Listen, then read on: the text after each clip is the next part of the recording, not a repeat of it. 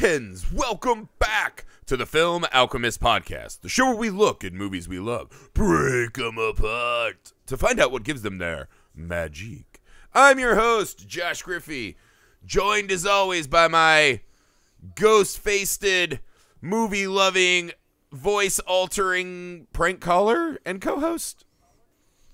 Alex Dandino. Yes, that's me. Yeah, that's that. I mean, that's a good summation. You don't want to jump in too much and start unmasking before we get in, guys. That's a great. That's a great intro, Griffey.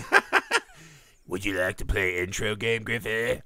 All right, guys. As always, uh, please take a second, leave us a rating and review, especially if you're listening on Apple Podcasts. That helps us out enormously. Uh, we appreciate those of you who have been doing that lately. Thank you so much from the bottom of our hearts. You can also see our faces along with hear our voices on our YouTube channel, Nerd Alchemist, plural with an S at the end. Uh, you can email the show, filmalchemistpod at gmail.com, with ideas uh, of movies you'd like to see covered, themes, guests, double features, anything like that. We want to hear from you. Also, on that note, find us on all your socials. Uh, we're there. You're there. Let's get it on. Let's get it on and talk about movie stuff. Uh, but that's it, guys. All right, today we are back. Uh, this October, right? Every October, the show goes full buck wild into the depths, the unfathomable uh, abyss, the obsidian abyss of the horror genre. Right? So we got a lot of great stuff coming for you. Every single day this month, a new horror flick. Um, obviously, the big secrets out of the bag. Our our mega series for this month is Halloween. So that'll be very excited. Uh, stay tuned for that. But right now, we're starting the month off with Scream. Um, Alex, Scream Two. Scream two. We're let let's dive right in. Uh, to preface, we will be doing the where this ranks among the best horror movie sequels or number twos at the end of the show. But Okay. I think I'm gonna spoil it a hair to say this is a really fucking good sequel. Yeah. Uh, this is my. This what is my about this sequel works so much for you? I think it's the one-upmanship. Like it's the one-upmanship in the face of again. We talked about this on the last pod. Like the meta of the movies themselves is so complicated, and I think the tightrope walk you have to do is so difficult in the first one. The having to do it again in a sequel mm-hmm. makes it even more complicated because essentially what's going on now is the get like the bag of tricks is out. Everyone knows what's in the bag. So what you have to do is make it more interesting again. So to me, this is a great sequel for two reasons mainly is one it still does a good job of taking itself seriously. It takes its premise seriously in that it doesn't go too deep into what you could call probably caricature to the point where you're like kind of taken out of the story. You're not taken out because you still want to know who the killer is. I want to know who's doing all this again. I thought this was over. Just when you thought you could go back again, there's a great there's a great episode of The Office where Michael Scott says, "I feel like Neve Campbell in Scream 2. She thought she could go to college and just hang out with her friends, and then the killer came back. I learned a lot of lessons from that movie. That is that is a, that is a that is a great touchstone for anyone watching this film. Everyone should learn their lessons. But the second thing I love the most about Scream 2 is the reveal because it is a fantastic like Jason Voorhees level reveal that's so much fun. And you're just like, "Oh shit. That is fucking great." Like the cleverness of the reveal itself of the actual bad guy makes me like this movie even more because it's justified, it's fascinating, it's worthwhile, and again, nobody is the wiser for it. It's really, really, really good, and you kind of see it coming because again, they do the same thing they did in the first one with Billy and Stu, but you also are just like not paying attention because the movie's having so much fun with your uh, sort of misdirection. It's cool. Yes, they do a good job of again they set us up where and, and one of the fun things about the Scream series is that the characters kind of talk in theses, right? so every Oh, yeah. character everything they say is a dissection of their culture, the world. So a lot of this is taking the piss out of college stereotypes, sorority life, this and that. Um, what I think is really fun though is that they still are able to use the exact same weaponry of the first movie, which Yes.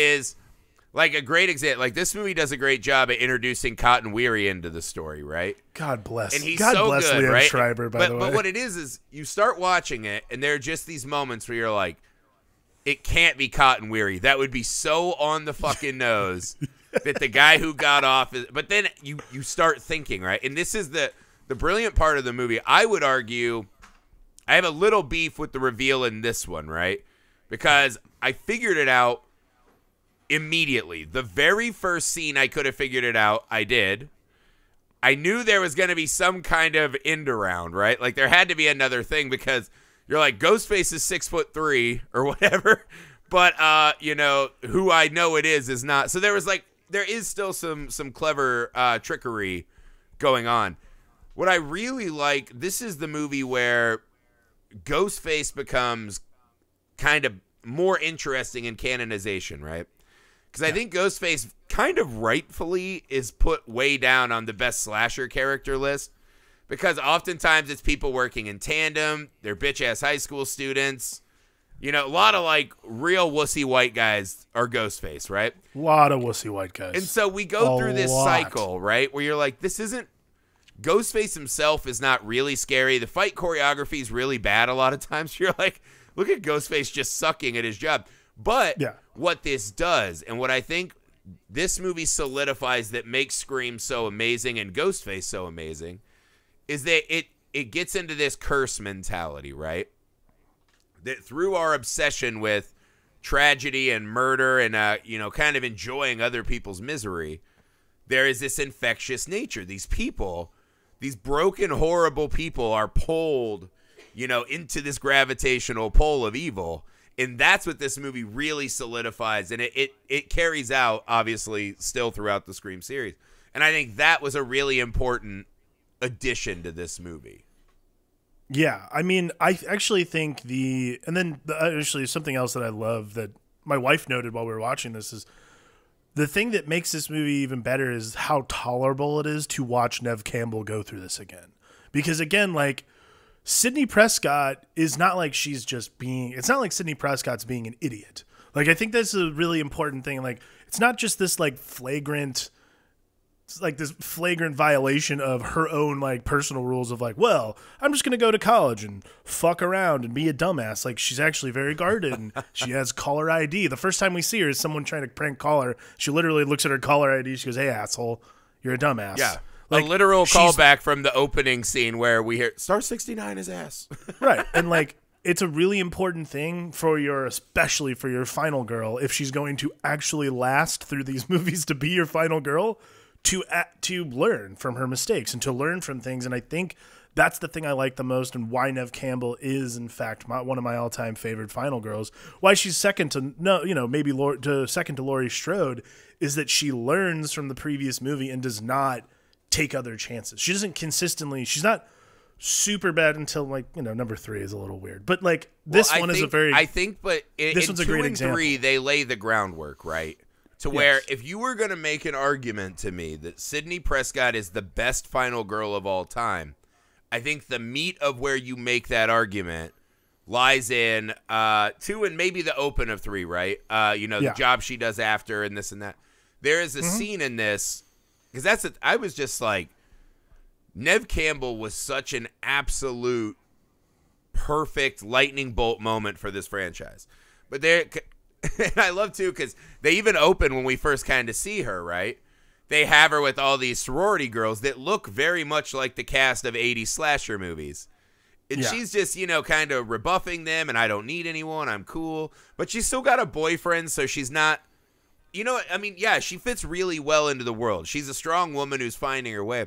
There's a scene, though, when we Sidney realizes what's going on, right? I'm, I'm trying to remember the exact context, but there is a, a murder, right? Or not a murder. This is what happens when uh when her boyfriend gets jumped by Ghostface, right? yeah And Connell gets his arm slashed, and Dewey's you know fucking limping around, whatever he's doing in this movie. Doofy Yeah, Doof, Doofy's got a severed nerve, so all of a sudden he has a T Rex arm, and he's like still trying to like whoop people's. I don't know. Do, Dewey in this movie went a little extra for me at times. But I really love Dewey, so I'm not here to just like throw haymakers. I, I do too. But but it's it's still hard to imagine Doofy survives this movie. That's right, Doofy. I'm still going with Doofy. Doofy just existing period in this series after part is it's wild. Because what they do with Doofy the rest of the series is he just walks into police stations and does police shit. Yeah, think yeah. But it's, no, it's but amazing. The scene I want to get Sorry, to though. Get, get to your point. the, the get to your Sidney point. Prescott moment where I was like, "This is the argument. That's the scene I would show. This is Sidney, right? That, and then her working at the call center in three. When she looks and she sees, and the fucking weight, right? There's been another murder across the street, and the weight of what's happening, and there is this beautifully done push in, right on Neve Campbell's face, is the realization hits that this is continuing and that she is going to be at the center of it. I mean, I, I watched it and I was just like, you just don't get lucky enough to have that good of a performance in a lot of horror movies. No. You know, a lot of horror it's movies, true. they cast unknowns, they cast younger actresses, this and that. But in that one moment, I was like, she just told you an entire emotional cascade, right? Uh, a dam being undone, right? And the flood of everything that's coming while maintaining strength and stoicism. I was like, that scene right there was fucking. And also being like, am I fucking another killer? Right? There's a lot going on in that scene, and she just A lot going it. on in her head. Yeah. It's yeah. I mean, it's one of those great. It is one of those great moments that just solidifies why this is the right choice for a final girl. Why this is why she's the star of the movie. And Yeah, well, she has that line at the end too, right? Where it's you forgot one thing about Billy Loomis. I fucking killed him, and I was like, yeah, fuck yeah.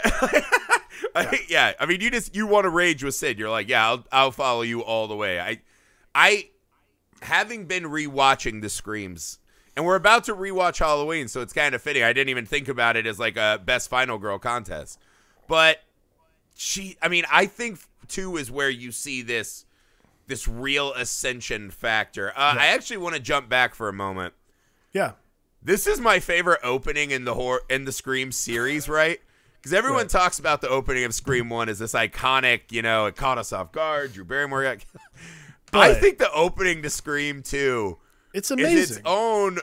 It's its own Banana Republic microcosm of why this movie so like. I watched that opening, and I just remember I, I had to rewatch the first X amount in the movie theater because I just kept writing questions down. I just wrote so many fucking questions down. Because one, I mean- because one, they're they're at stab, right? right. They're kind of dissecting uh, stab and going at, you know, it's just white people getting killed by white people, blah, blah, blah. I want to see Sandra Bullock, only she naked hot. And I was like, all right, I'm in. I'm with you. Once we enter that theater, it becomes this fucking theater of the absurd. You know what I mean? It's it's like because one, the studio just the most blatant murder porn of all time. The studio's handing out getaway outfits yeah, right? Encouraging the fucking uh, rainbow knife so you wouldn't really be that weirded out if you saw a real knife. So the studio's just clearly giving people the tools and saying, hey, watch this. Would you like to be the murderer? And then Yeah. I'm completely convinced that that creepy concessionist just put so much cocaine in every snack at that bar because you go into the theater and it is It's a nuts. literal wild madhouse. it's bonkers. And I not don't only understand. that, people just keep walking in and out of the theater like it's more of like a hangout, like you're just moseying by. so they're so it reminds- wildly excited for Stab that they're not. not only that, Stab. but then like the movie, yeah, the movie starts and like the movie begins. The lights go down, and like when you're in uh, movie theaters in general, even excited theaters, nobody like starts screaming when the lights go down. only like- gigantic assholes. Right, only, the gigantic assholes, and apparently assholes every that, gigantic asshole is in this movie theater because the lights go down, and not only are they all like screaming and whooping and hollering, but everyone with a ghost face like Kit is literally just like yeah, and like stabbing the air Yeah. and shit. And I'm like, good lord, like Yeah, this, like what like it's like the studio wanted them to come out like so the interviews be like. How was the movie? Like all the reporters, like, how was the movie? Like, oh my gosh, the best movie I've seen. yeah. I mean, the, co- the cocaine definitely was a part of it. that's just there's no logical explanation for what's happening unless we're also None. taking in this. This becomes this ring style like paranormal experience where when you see stab it activates your inner angry white man. it just sends you into a fucking glorious rage at the screen. It's it's wild. But even past that, right? The the the scene in the bathroom even is very interesting to me, right? Because you Yeah. got the Omar Epps scenario. He goes in and there's two ghost face like co-peeing that won't move. So like already this is a very strange like what is this some eyes wide shut bathroom shit? Who knows? He goes into the bathroom and just starts hearing, "Oh, tell him what I did, mommy. Oh, mommy, mommy, I'll show him what I did." Because I had the captions on, so I could actually like read what Yeah. the fuck was being said. Which I feel like again, that's that's a dead giveaway, right? Like, Yes. I remember figuring it out the first time I saw the movie. If you watch it with the captions, you're like, "This is one thousand percent." Yeah. Like Mrs. up front, again, they do a good job of literally telling you all the things you need to know to move forward. Yeah. With the knowledge that this person is like with the knowledge that Mrs. Loomis is the killer of this film. And yet and Timothy Olyphant, of course. And then but yeah, if you ha- again, if you have kids, you watch movies with captions because they're either screaming or they're sleeping. Yep. So you have no option. So like we watch it, we watch everything with subtitles now, and so I'm watching this with the captions. I thought the same thing. I saw that line, and even Andrea was like, "Oh, it's definitely Mrs. Loomis." Now I'm like, I never even knew what they were saying. I just Yeah. assumed they were like. I honestly thought they were just fucking. Well, I was thought it always was going to be some other lady, right? I didn't know Mrs. Loomis immediately, but also there's this weird.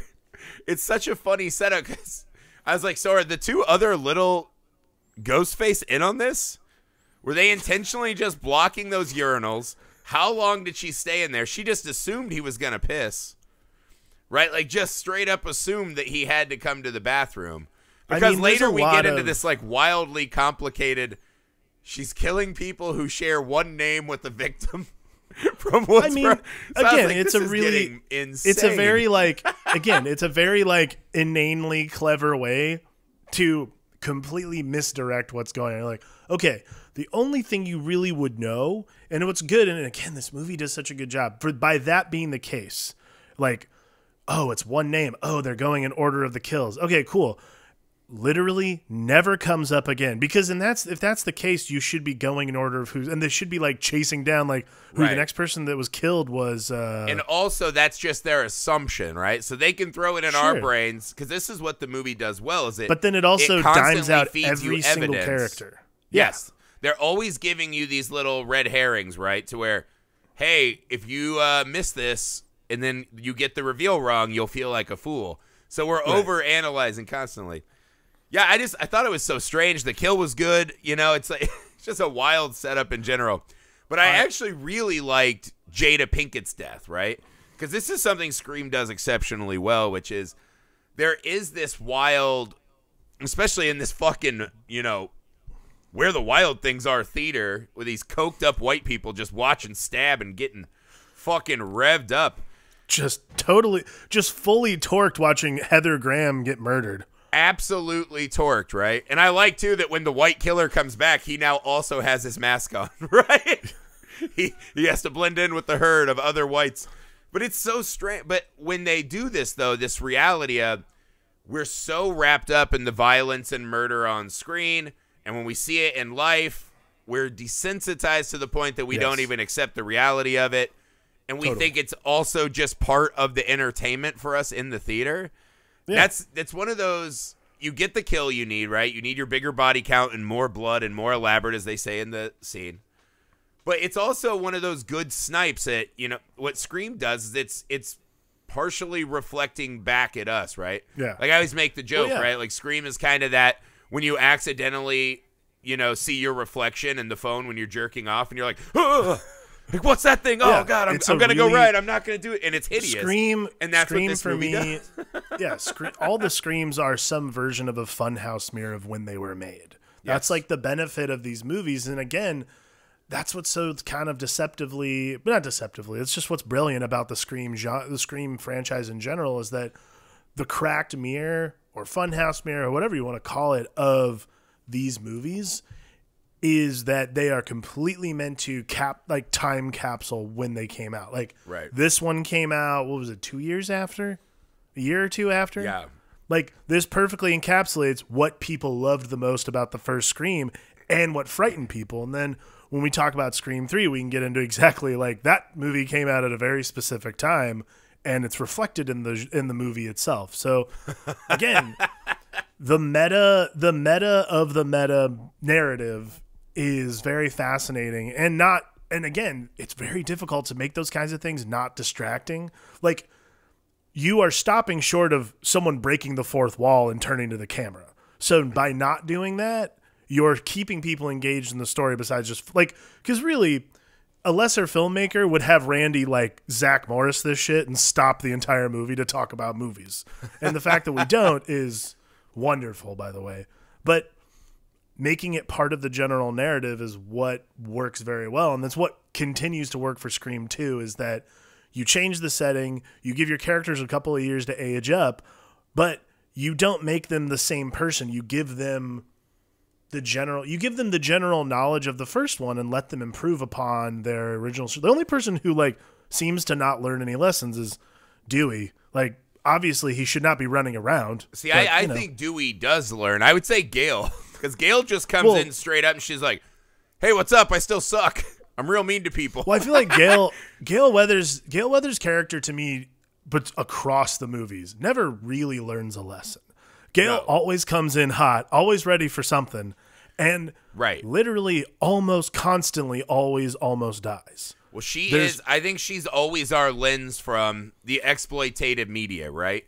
So Gale always is there, and she, I think she shows sympathy when it can help her, right? And when she, like, that's the thing. I don't ever truly buy any of the her and Dewey moments, because that's. I'm like, I think she really is having this cathartic. Oh, maybe I'll just marry small town Dewey, and he can T Rex around our house, and it'll be great. Or is she like, hey?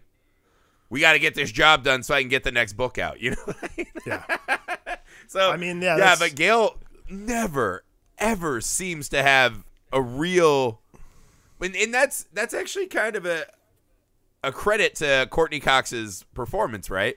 Is she is Yeah. always captivating and fun to watch, while completely refusing to seemingly ever take any of this in and be like, I, I got to do better. Like I can do much better. No, yeah, she never she never learns from anything. Like, and again, I to me, yeah, like Dewey, I think always is one of like Dewey has a more practical reason not to engage because he literally can't walk properly anymore because of the first time this all happened. Right, but that's what's that he's cool. willing to- Dewey's the man to prove that he can still Right. get the job the done. fact that right? he's willing he to do it makes him heroic. Right. Yeah. The fact that he he's willing to do it makes him somewhat heroic. Gale never learns because nothing bad ever happens to her. Like she's never really in any like actual danger. No one ever tries to actually she I mean, she almost gets, gets murdered. shot. oh, By, yeah. eh. you've never been. I you've mean- never had a bullet bounce off your rib. in the Scream movies. You, does that even matter? You no do one not have the street cred of a Gale Weathers to be throwing such accusations. no one ever dies from a gut shot in Scream movies. Ever. Yeah, there's a lot of uh there's a lot of but that's kind of a fun extra thing in Scream is you're like until I see them cremated, I'm assuming this person could come back. Yeah, exactly. Uh, yeah, I thought because they it's so funny because they they really do run, and I think that's a cool thing too is they're showing like the sequel issue right. They're running exactly the same playbook. Is O'Connell the guy? But they keep giving us these great breadcrumbs of who could be the guy. Again, Right. I think one of my beefs with the movie, if I had a big beef with this, I love Laurie Metcalf. Great addition to the movie. She's awesome. And that final scene when she just has her wild eyes and she's snapped. So good. So dude. She's amazing. But this this gets back. There's this other movie, uh, The Blackcoat's Daughter, right? It's a popular kind of small horror movie. Yeah. It's a great movie that I really enjoy until they get to this finale where you're like, I have to be so stupid to imagine the series of events that would allow this to happen, right? Kind of a how do you not recognize this person? For me to assume that Gale Weathers, super reporter, who's been investigating this book on Billy Loomis, right? Writing about the boy, the teenage boy who killed her and blah, blah, blah, didn't have a chapter about Billy Loomis and his family being broken up, and she's never seen a fucking picture of Mama Loomis. Mama Loomis was never interviewed on the TV shows like every other fucking person. like, are you? F- I know what Jeffrey Well- Dahmer's parents look like. Are you fucking kidding me?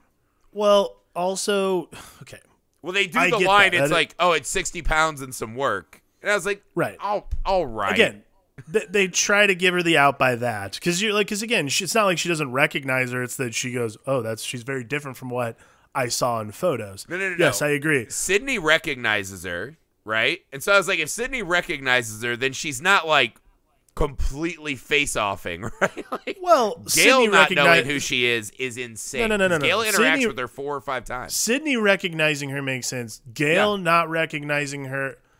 Gale Gale not recognizing her makes more sense because she's not as close to the action. But again, it's yes, I agree. It is like a huge hole in Yeah. what you would otherwise assume would be a reporter's reference. Right. A, a part of a reporter's thing is to make sure she actually interviews the people. I mean, you can make a. I can come up with anything. I could I could explain it away and say Sure. Eh, But I Um, mean, I think that's one of the cool things. It's one of those things that I just saw it and I was like, because they even mention in sequels it gets more elaborate, this and that. You know, they they let you know really early that there's two killers. So right. I didn't figure out who the second person was going to be, right? Because I was like, of course they're not going to use the Billy knockoff, right? Like no fucking way. And of course No, they no. did it, and you're like, damn. But her, I figure, because I was like, why does she keep talking to this lady reporter over and over? You're like, of course it has to be that one. And it's just like, I just wish they would have done. If you're gonna go that weird and do the big lifetime movie reveal, say something crazy say like I went to you know I went to Thailand and got my entire face redone. I look like a new woman, the woman my man would have wanted. You know, like You know- just add that one extra line in. That's all they had to do. There's no fucking way that Gale Weathers does not know what Billy Loomis's mother looks like. I don't care how much fucking weight she lost. Again, yeah, but you can. I mean, I could explain it away where that Gale is the idea is that Gale considers herself a great reporter and perhaps she is not as good. You Sure. could make that. A, I could make that assumption that she is a short-sighted reporter and that she would not research that portion of the Woodsboro murder story. right? Granted, But there's no, also like- a gaggle of reporters around her at all times. yeah, One of them has to be a good reporter. Do they? I believe our current climate would speak otherwise. Um, I think Let me let me put it this way. Would I want Laurie Metcalf to not be in the movie to address this issue? Absolutely not. Laurie Metcalf adds more to this movie than the no one knowing what Billy Loomis's mom flaw is, right? I'm totally down, but I just it struck me in a movie that's so tight and so reflective that this just feels like a really dumb one to miss. I wondered if there was something extra going on and it just didn't click with me I if mean, they made me, it that it's that absurd for a reason. I mean, that is to me always the thing when I watch Scream movies is that Yeah. the absurdity, the absurdity is what's supposed to win, in my opinion. You're never supposed like when we're watching these movies and we're analyzing them and trying to like figure out who the killer is and actually get through this mystery and try to solve it before our characters do. The importance because it, great example. CC Cooper's death, which is Sarah Michelle Gellar in the movie, is Yes. bar none the most bonkers, ridiculous murder scene of all time in a movie. She is We just watched the, the, garage door murder. This is She, we she, we just watched the garage door murder, which is awesome. And Awesome. this is Sarah Michelle Gellar's murder is she gets chased up the stairs while throwing things down the stairs, which is like, and not only like things, not just like she's not throwing like heavy vases or anything. She's literally throwing like bicycles, things that can be avoided. like, there's absolutely not like. They do the exact same thing in Scream 3, and at least there, there's stuff that's heavy and could actually hurt. Like, she is not throwing anything that's an obstacle. that's not an absurd. I did note. I was like, this. It is that scene is interesting. You brought it up because my note on that scene was one. I like that they went back into the cameo, like get bigger name actresses to have these one offs. I thought that was Well, the whole. I mean, the, the by the way, Windsor College Heather might as well Tori Spelling. Windsor College might as well be called uh, like CW University or the WB University because like the entirety of the cast of every one of those shows was in the fucking movie. Yeah, right. I think But what I think liked about that. the only person didn't is show was fucking James Van Der Beek. That's true. He was probably in there somewhere. he was one of the Ghostface extras. But yeah, when she killed uh, Cece, though, I was like, oh, this version of Ghostface is way more brutal. Like, Well, yeah, remember no. we talked about in Scream 1, the first time when we see Drew Barrymore killed, there's kind of a slow, like, figuring out where to aim before the murder. Mm-hmm. I mean, granted, then she ends up in a tree gutted. So I guess Right. it's hard to make the argument, like, more hardcore. But it was just, it was very brutal and fast kill. You know what I mean? Yeah, I well, and to me, again, like I'm not saying the ending of her death was not horribly brutal, because yes, I agree. Like getting stabbed and thrown off the top of a building, not great. but the hijinks getting to that were very like Looney Tunesy, and to me, like that is something that the Scream movies do very well without like Yes. overdoing it, without because like they parodied it, they parodied it in a scary movie as well. Yeah. And that could be the thing that's burned in my brain. But at the same time, it's also one of those things where I look at that and I'm like, there's an ampage here that I'm not sure I necessarily qualify. The end, yes. But getting her up there takes considerable effort with like again, she's like the worst murder victim ever. She's just like she's throwing like Nerf balls. It's but so bizarre. that lady has had that that woman character has been murdered in that way a thousand times in Of you know these movies. So sure. I get it. Again, Scream. One of the things I guess you could argue it doesn't do well is the fighting and action. The choreography Yeah. of like people fighting is always madness in Yeah. these movies. Ghostface think might that's be kind of on the- purpose.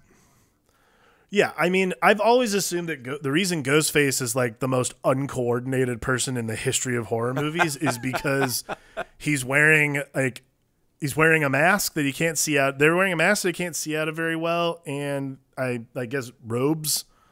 Like again, it makes you really wonder how the fuck uh, Brutus rolled up to Julius Caesar and actually was able to pull something off. Because I got to tell you, man, Well, like, no, he just kind of sauntered up and stabbed him in the back. Yeah, you can't be doing all these athletic moves and high kicks and shit when you got yeah, dress I gotta up. say, Ghost Ghostface might be the least athletic. Uh, Well, no, of because he's got a full thing like movies. robe. That's if he had a dress on, dude. Like I used to, like Romans, they used to have like sundresses essentially. That's what a toga is. It's like a sundress setup. So you, as long as your knees aren't hampered, you still got the Right. hey hey. You know what I mean? You can still throw it from the hip. But it's just like the amount of flailing that goes on from Ghostface is just like I- every time, like he always is falling over stuff every Yes. time. no, Every but house he's, he chases he's very much a cartoon. He's Yeah. very much a cartoon caricature. But and I then, think but that- this movie always ends that goofy bullshit in a really hardcore murder. The murders are Right. brutal in this. Well, and that was the thing I loved about uh it was the, like again, this is a great example. Randy says it in the movie when he explains the rules, but I love the amp up here when her and her friend are in the back seat of the the cop car and they're on Yeah. their way and the cops get murdered. That scene where Neve Campbell and her friend have to crawl over like a knocked out ghost face. Yeah. God, dude, what a great scene of like something that should be completely innocuous and probably cut out of a movie. Yeah. Because everyone would sit in the theater and go, "Come on, he wouldn't have woken up." Like Yeah. Take that the mask to me, off. Yeah, you're screaming at the TV. take the mask off. Like We I are all Jada ugh, Pinkett Smith in that moment, screaming at the TV. loved it, loved it, dude. I Dude, love that You scene. forgot though, the craziest part of that scene is the cop who gets his the cop fucking with the head fucking, impaled. Oh my god! And when they come back on that absolute fucking nightmare fuel uh, effect, he's still twitching. Like yeah, his the body's arm, still. the hand twitch. oh my god, that is to me good. that is the coolest like horror moment in the Scream series. That is so Absolutely. fucking good. I thought Oh, that was It- insane. Oh no, Uh, that tell that one the is scene awesome. that really jumped out to me that I loved. I love uh I loved Sidney's play. I was really into the play of Sidney being cast and essentially birthed by ancient golem clay faces yeah, I that mean, birthed her and for her to not be like this is a little on the nose, maybe not. Yeah, and her drama teacher Sidney- just being like, "I get it. Some things are going on with you, but I don't have an understand." but I, I like that that, visual amp up though. That was really fun. Yeah. and it leads to a perfect place to have our finale, right? But I- that moment lo- was great. No, it was great set. Good, great set piece. Great use of the set piece. Because like, there's no reason to show us that she's a what dance and theater major or whatever, which is a weird choice for someone who's literally trying to not get murdered on a regular basis. But like, that was a great piece of set to have for the end Yes. of the movie itself. And then, yeah, I absolutely love uh, the uh, the scientist from Secret of the Ooze telling her, "Hey, just uh, just give me a break here." The smart, cultured, everyman uh, character actor, yes. but it was so. I have to I have to learn so that guy's good, name. But in that moment too, in that moment, something really interesting dawned on me, right? Because her detectives are in the room? But Ghostface still could have killed her so easily, right? Yeah. My question, I, this is when I realized Sidney has some form of story armor. Right? So the killer in that moment, I'm assuming that would be Mickey who is in Ghostface at that moment. Knows that he is not to kill Sidney yet. Right? And I think that leads to and explains away why Sidney is willing to climb over Ghostface in again one of those classically dumb horror movie things is because I think in a way Sidney begins to sense that she has some Wait, kind you- of armor, right? She she is now seeing this whole thing as a play. Are you wait? Are you saying that? Are you saying that you the ghost face that she sees when she's rehearsing is real? Oh, absolutely. Oh, I have always harbored on the assumption she saw that.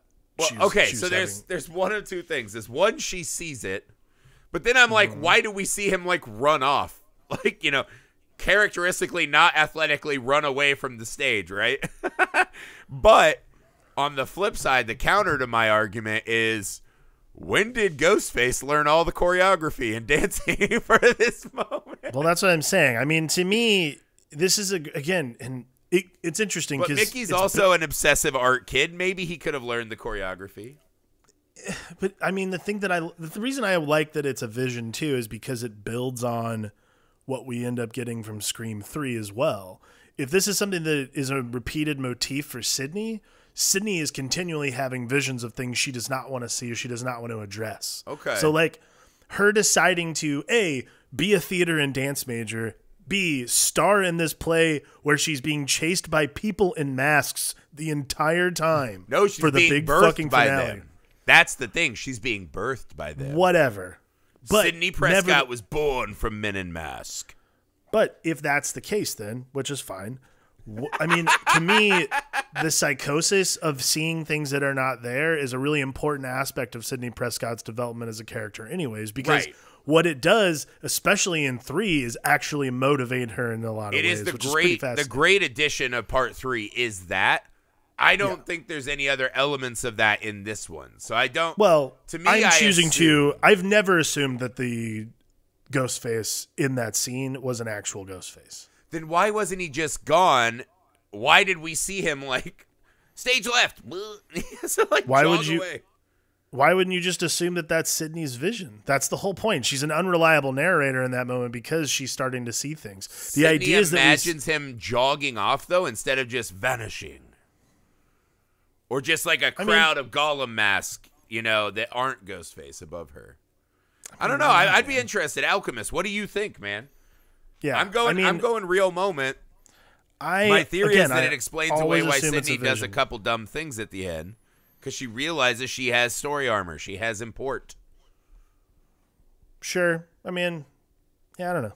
It's possible. I personally, I don't know. It's possible. I'm not saying it's impossible. There's nothing impossible, especially. It's weird, I guess, because yeah, you're saying you never thought it was real. I never assumed it would be a vision, which is weird because I assume everything in movies is a lie. I always assumed she was imagining what she was seeing because again, it's a it's a matter of a developing psychosis. Like she Right. has ha- she has had like for one, she also a lot of the times you get to hear you she hears voices that kind of stuff. Like there's nothing about what's happening to her that is normal. So why wouldn't she be thinking maybe? Why wouldn't she just have a vision of her tormentor coming for her? Again, weird choice to want to actually star in this Yeah. thing where people are running around you in masks. I Well, mean, it's cool for your- us to watch. It's visually very fun. We Yeah. watch Sidney, the the final girl, right, be born in form and caught in this, you know, stage play, right? So it's it's this really cool symbolic moment for what is happening to her in this movie. Because Sidney Right. at the end of part one is like, well, that was a tragic whoops a daisy, right?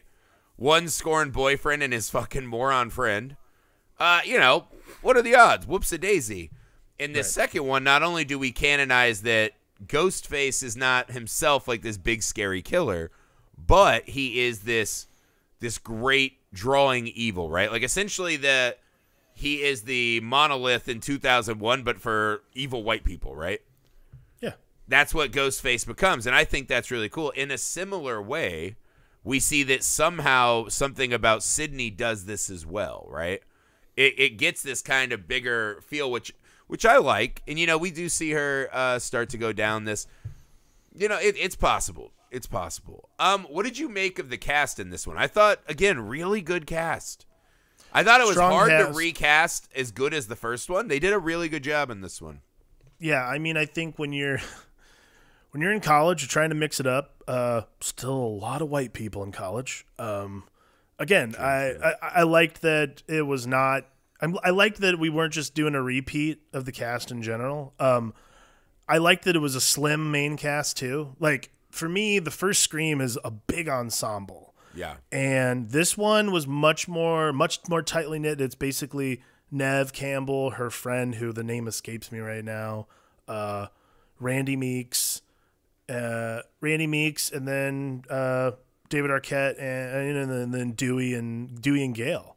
Like that's pretty much it. Like those are the main players throughout the entire movie. Like you don't really have and they're also all on the same hunt the entire time like for me Scream is a lot of the first Scream is a lot about convergence of narrative because like Gale could give a shit about the survival of these kids.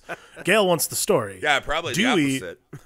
Dewey is trying to keep her. Dew- Dewey's trying to keep people safe, and all the kids are just trying to party, except for obviously Stu and Billy who are trying to murder, Murder uh, and Sidney party. Prescott.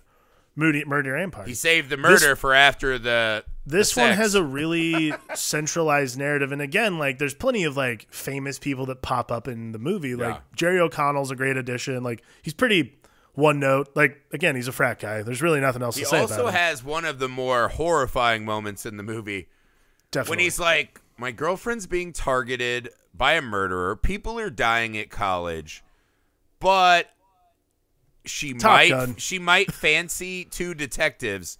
So I'm just gonna Top Gun and walk on people's, you know, put my dirty shoes on the tables where people eat their food Put and my make it all about me." put my dirty penny loafers which by the way Yeah. could they have given him a worse like look for the entire movie he, I mean, he just he's a handsome devil, but if you're asking me, I already had sex with a killer once who used me putting him in jail for the killer that he would become uh, as a lever with which to pry me open and get sex out of me, right? yeah Jerry O'Connell having the same where he's supposed to be the good guy by the end. It's like, I never would have done anything to hurt you. It's like, well, you were manipulating me because you wanted Yeah. to make a big fucking show tune out of it. You did say, wear hey, your can we still have loafers and- kisses? Instead of your just sweet saying like, hey, you're loafers to give it. me a fucking necklace Yeah. You're hey, I'm going through some stuff, man. Can you back the fuck off?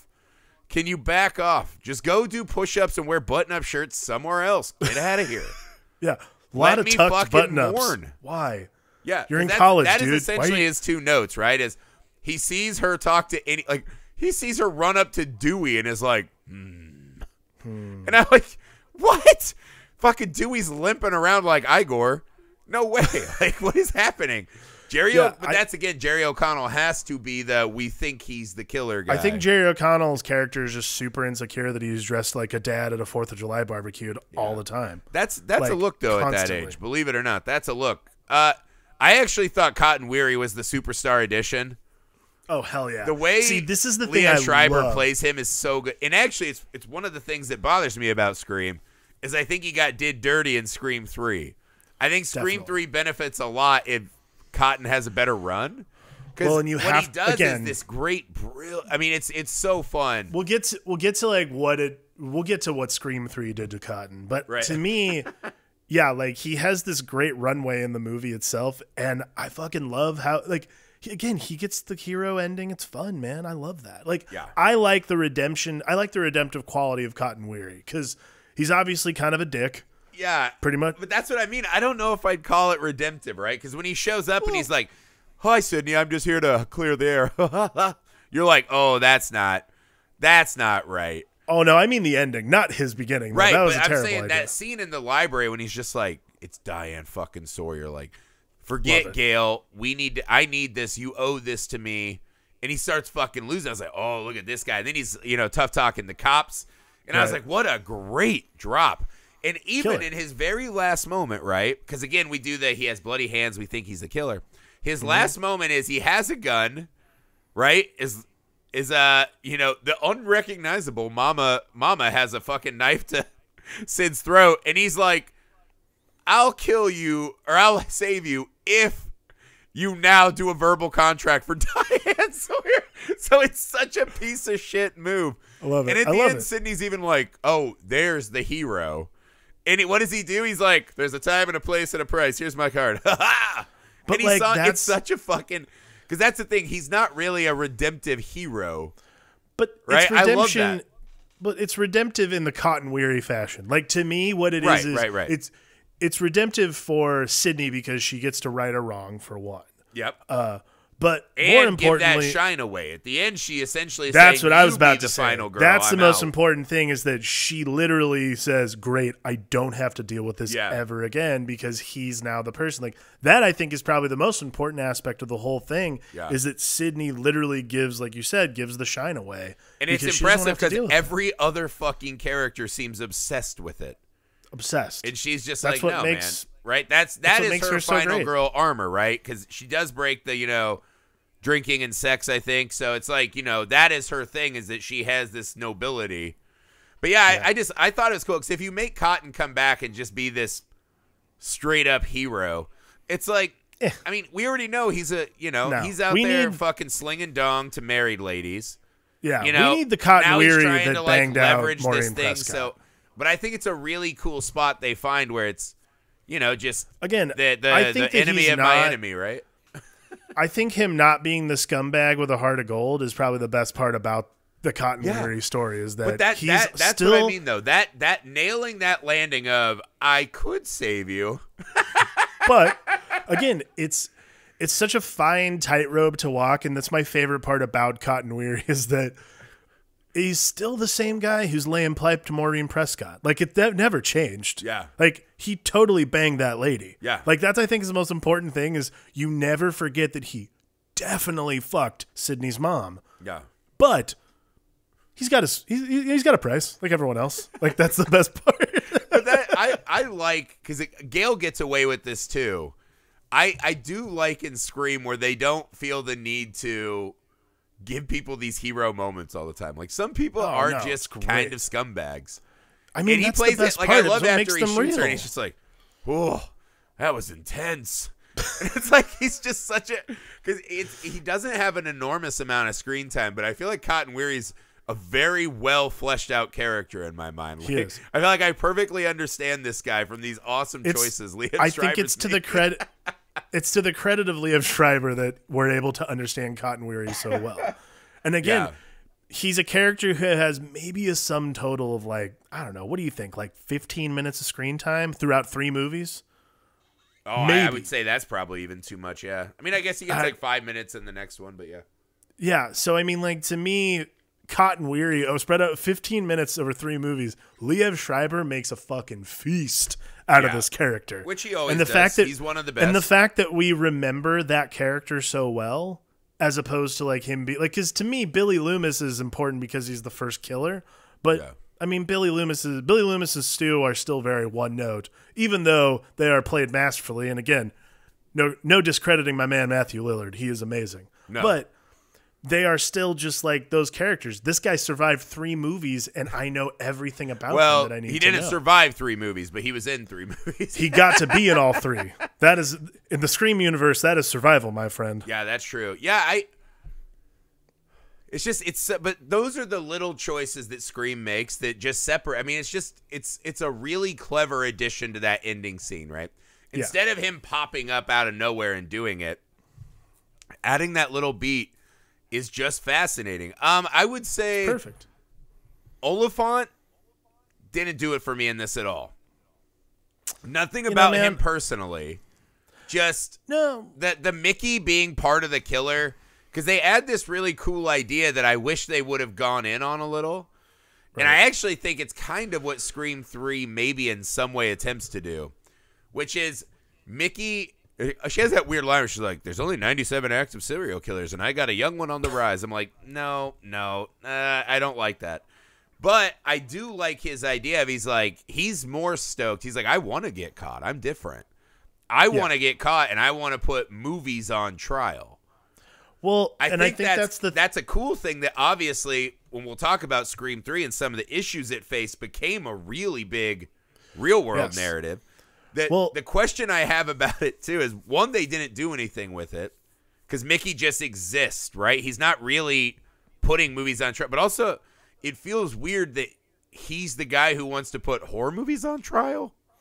Well, what's really interesting, well, again, like this is his motivation. Like, and this is the thing that I love the most about Laurie Metcalf in this movie. Like, Yeah. Mrs. Loomis is a world class manipulator because this is like his whole shtick. Like, he gives this big, long winded speech about putting movies on trial, all this other shit, like the kind of stuff that we're used to from this movie. And then she literally shoots him in the head or shoots him in the chest, and she's like, "Did you hear that crazy shit? Fuck How'd you guy." buy that for a motive? But that's what I like too, because but I thought the idea. But of, that's great because I it literally want is- to get caught to be put on trial. No, is a really that is a- cool idea, right? This becoming famous through infamy beat.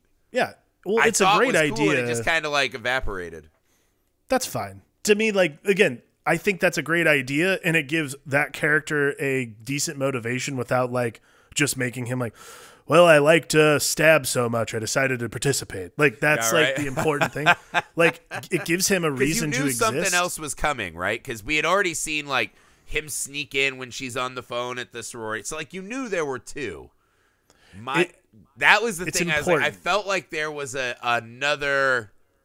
I felt like they could have played a different card. To be honest, They could have, but I mean, like, again, he gets shot, like, within five seconds of revealing his motivation. So it almost Yeah. means nothing, anyways. Like, but rewatching means the some- series, I keep being struck by the thought that there are two very obvious people to have under the hood that they never got to, and it's Dewey and Sidney's dad.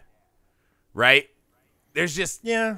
There's there's underlying. I mean, Sidney's dad more for part three, but he could have been in here too. His life was also ruined by all this, you know.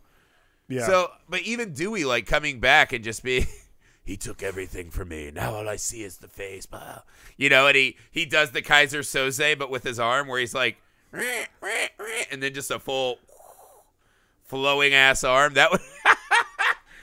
I don't know. I just I felt like Mickey was just kind of like shoehorned in because they'd be like, no one will suspect that we're gonna do Billy part two. I mean, again, it was it made sense. It didn't bother me as much. I mean, Timothy Olyphant in the movie is creepy enough, anyways, because this is right around the time he like this was in the late '90s, so he's doing like Go. He's not Yeah. the hero in a lot of movies. No. he's like the bad guy in a lot of like the first movie I ever saw Timothy Olyphant in was was Go, where he's an ecstasy dealer. Yeah. That's like the first thing I remember him from, and he's always been that person for me forever. no matter what he does, he's that Even creepy. Deadwood? Ter- yeah, even Just in Deadwood, I'm like, where's the drugs? where's this dude slanging X, man? No, Marshall's I, slanging I, I'm X. not saying this is an affront to Olyphant. Not I, at it's so weird because I think this movie. We'll wrap up on our sequel discussion, right? I think this movie is so good, right? Mm-hmm. I do feel like they step on their dick a little bit because you know Laurie Metcalf is the killer immediately if you have any kind of attention span. You know that she did it. It's hard to accept that no one knows what she looks like, and then Mickey's just forced in. It's so it's such a weird thing because that should ruin the movie for me. But Scream is so clever and has these built-in roundabouts that it mm-hmm. doesn't. And the fact that it's on a stage, I think, is the best way to wrap this movie up because it makes everything melodramatic and insane. Right? Sidney's Yes. life has become this, you know, weird story that, and she literally can't escape the stage. Right? It's like the only stage that builds actual walls that you can't escape right? And Sidney's in this kind of metaphysical, like, oh, my life is a bad play. I thought I thought that was real, but that I think it's it's wild to me that that doesn't ruin the movie for me in a way. I mean, I think that that's the strength of Scream 2 in general Yeah. is that it's a great it's it's funny like one of the first scene the first scene we see Randy Meeks in is in his film study class where they're debating sequels. Yeah. And I mean, what's fascinating is Scream 2 is I think arguably I mean, No, it's not arguably. Scream Two is a great sequel to a movie. It's a great, sequel, but where do we rank it among horror movie number twos? I mean, Okay, so let's Well, see. Halloween. what would you 2, put in front of it? All right, no, Halloween no, no. Two. Halloween two, I think, not as good as Scream two, right? So take Hall- I would agree. Friday the Thirteenth two. That's a close one. I really like what they did in Friday the Thirteenth. Friday the Thirteenth, I'd say, is one of my all-time favorite horror. See sequels. that Like, one, top Night- three. Nightmare on Elm Street two. I really like. Again, I love sequels that take me in weird, interesting directions. Right? Uh, Evil Dead Two. Evil Dead two to me is the top horror movie number That's two. top tier, I time. think. Hellraiser number two, throw that out. Not very good. Leprechaun 2, fantastic. Pumpkinhead 2, not so great, Eh. right? Hostel But it's hard. it- it's hard. It's hard to top that first one, though. yeah, but I mean, that's what I'm saying. I think Scream is, to me, it's, Scream in, 2 it's is- in the class with Evil Dead 2. I Friday, think so too, I, man. I think it's better than Friday the 13th Part 2, and I bet more people would say they like that over Nightmare 2. I think for Mm-hmm. me, it goes Evil Dead 2, and then Nightmare and Scream 2 are kind of right yeah, in that running. I'd say they're evenly matched, but yeah, I would. agree. Hellraiser 2 makes me furiously angry to this day. Like irrationally angry. Make me sense. mad, make me want to throw fiest mad. So yeah, I don't know I don't know what else I would put up there in just even horror. I know they mentioned House 2 the second story. I was like, "Wow, that's a fucking deep one." Waxwork 2 is fantastic. I don't know how deep we want to go down this. But Friday the Thirteenth. Actually, I'll say this: Slumber Party Massacre Part Two, where the guy's drill becomes like a Prince guitar. It's it's a good one. That's a good one. uh, Dawn of the Dead, Dawn of the Dead. maybe Dawn of the Dead in the mall. I don't know. Yeah, that's what I mean, though. I think this is probably a top five, Yeah, an easy top five best horror sequel. it's pretty excellent. Yeah, Again, and if for a movie that literally references itself constantly, yeah, again, you shouldn't be able to do that, and you shouldn't be able to make it this good and this engaging as a horror movie on its own. Like, it should be a distraction that this movie constantly references itself, and it's not. And that is again like that is the strength of Kevin Williamson as a writer, and that's the strength of Wes Craven understanding what he hath brought. Yeah, it's it's really cool because the whole thing is a puzzle box that just keeps saying, "Hey, it's a puzzle." So the whole Yeah. time you're trying to figure it out while being a little bit it's constantly just throwing red herrings at you and dissertations on what you're watching.